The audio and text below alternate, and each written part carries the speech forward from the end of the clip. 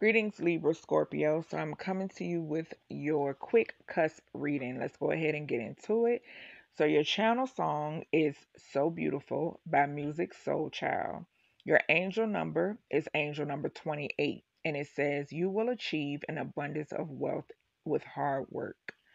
Following that, we have your runes, charms, etc.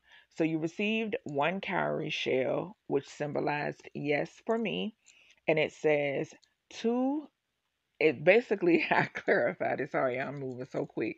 But yes, I clarified this yes that you received from the cowrie shell. And um it says yes to a soul connection, partnership, agreement, and or soul contract.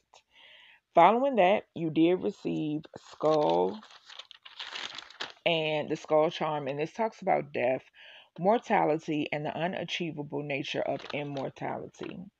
Next, you received three cat charms. You could be someone who has a cat or cats or lo- likes cats.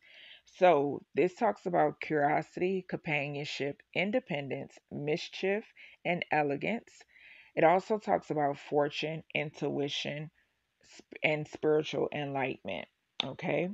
So, following that, we have your romance angel card, and you receive heart to heart conversation. So this talks about honestly discuss your feelings with each other. Next, we have your soul's journey oracle cards. And the angel number 747 could be of some significance as well.